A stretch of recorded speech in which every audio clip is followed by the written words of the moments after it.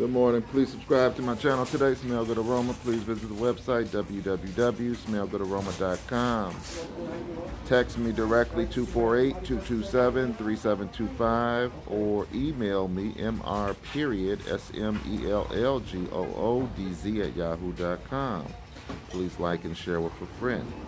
Today I'm going to be talking a little about uh, price point and the history of the, some of the prices that I've had and, um, you know, pricing and competition. When I initially started selling the fragrance oils, which was a while ago, um, probably in 01, uh, I started selling the one third ounce bottles for $10. This bottle here. I was selling it for $10. Now I charge five dollars for the same bottle. But when I originally started it, I was charging ten.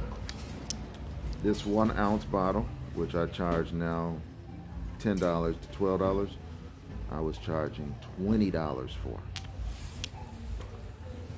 When I originally started selling the oil, you know, I loved it. Ten dollars for a one third, twenty for a one ounce. I thought it was great. Uh, profit margin great, everything great, great, great. I had two venues that I was selling out of. I was selling them from work. People had no problem paying it because they got paychecks every two weeks. No problem. And I was selling it in the street, you know, on Friday and Saturday, going around to the barber and beauty shops, going just, just out and about. And ran into a lot of flack over time, maybe within a six month period, selling these on the street for the same price that I was selling them at corporate for. Because in the city that I'm in, Detroit, there was like two or three main families that had businesses selling the oils, and their price point was ten dollars for this bottle. They would sell this bottle for ten, they would refill it for eight. This one third ounce bottle, they were charging five for, and they were refilling them for three to four dollars. So the dilemma that I ran into was I was I was able to sell it at work but I didn't do well in the street selling, and not because I didn't have good quality, but because of the price, price point. So within a month or so, I just said, you know what, just switch the price to whatever they charge, and you know, in the city, because you're gonna, if you want to grow, you're gonna have to you know, drop the price a little bit. I dropped the price, and I had no problem from that point on selling them in the street. My point is, you as an oil distributor, whatever city you're in, whatever community you're in, you have to understand what the price is in your area. Out in LA, out in Vegas, they can get away charging people 20 to $25 for this one one ounce bottle easily. They can charge 10 to $12 for this one third ounce bottle depending where you are.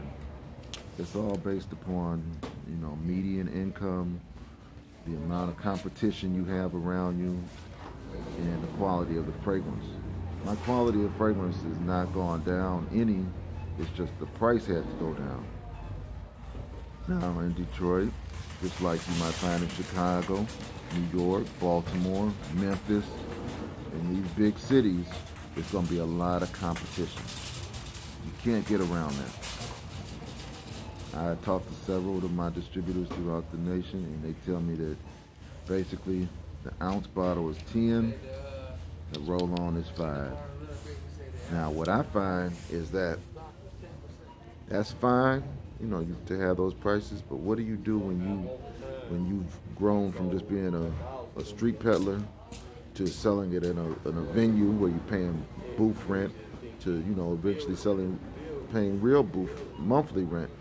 How do you maintain your price or adjust your price to deal with the rising costs that you might have. Now, recently, over the last month, I just started. Uh, I have a lease that I'm working out of a building, and I have, you know, real rent that I have to pay. Now, one thing that I've done is I put a price tag of twelve dollars on this bottle and because I sell good quality, I can stand behind it at twelve dollars. I give them two for twenty, and if I'm comfort comfortable in the product that I'm selling, I don't have to budge on my price because it's still within the the circle of what they're used to paying. I just start them at 12 and I tell them, give me $20, I'll give you two of them. These bottles for $5, if you're selling good quality oil, you don't have to budge. I just bring that up because in this business that we're in, if you're selling fragrances, you are judged not by only by the quality of your product, but also by the price points of your product. And one of the things that's challenging is people who are consumers are paying these five and ten dollars for these bottles, but they don't understand that these have been the prices for maybe the last 20 years, and inflation is something that makes things go up every so often. And these prices are not, a, you know, not reflective of the refl- inflation. I just bring that out to you as a, as a point because what you could buy for ten dollars 20 years ago, you can't buy for ten dollars now. So, with that being said, uh, I would love to charge a person twenty dollars for this bottle in this day and age, and it might come back to that eventually. But I know how people are. Um, this bottle is worth ten. I charge five just because of the market that I'm in. Uh, these are just thoughts and reflections that I have on price point and um, you know how you price your products and how you run your business. These are questions and thoughts that you have to consider when you price your product. Uh, for the last 17, 18 years, I haven't changed the price for the most part on the one third or one ounce bottles. I tell everybody that's selling fragrances, get a price, lock it in, and make it stable for maybe at least five years. Because you don't want to jump around with your price every time somebody comes in to buy something from you. So if you're in an area, you might want to charge seven. You might want to charge ten. You have to come up with your own game plan. You might do a 10 and do a 3 for 20 on the one thirds. You might do a 20, 2 for 30s on the one ounces. It's up to you. It's up to where you are. It's up to your demographics. And you have to study your median income in the area you're in. And the demographic that I'm selling from, the zip code I'm in, because I looked it up, median income for the family is only 28 to 30,000 per family. So I'm not in a very um, well-to-do area. It's a, it's a hard knock, grimy environment. So I, I accommodate for that demographic and make sure that it works.